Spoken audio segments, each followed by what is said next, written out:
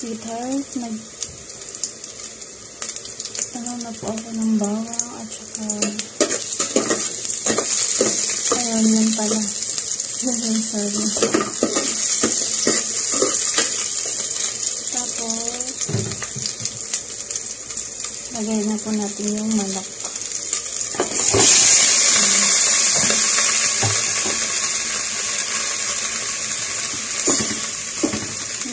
Po natin sa manok ay magsasaba ay luluto po ako ng tinolang manok.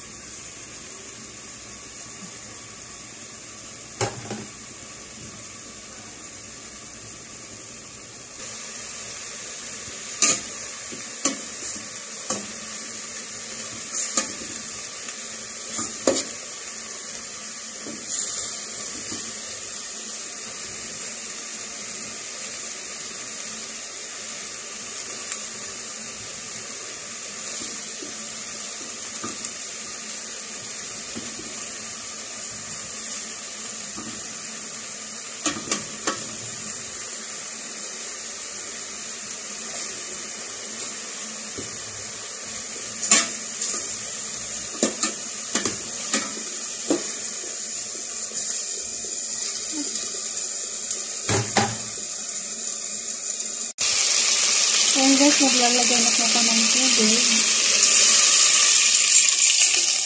Ayan.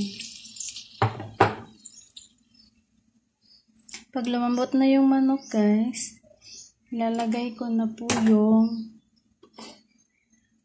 sayote. Yan. Yung gulay.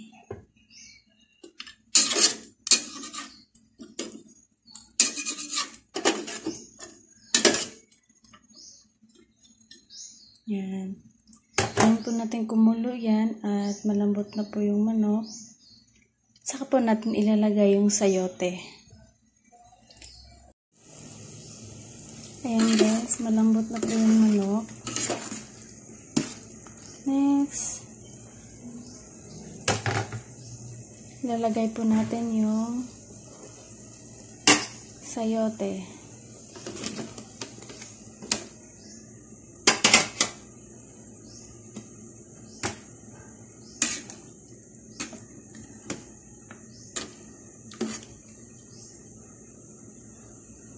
Tapos po, lagyan natin ng kunting asin.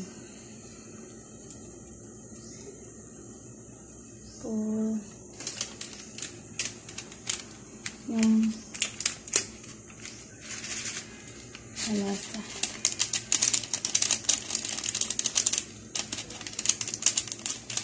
Ayan.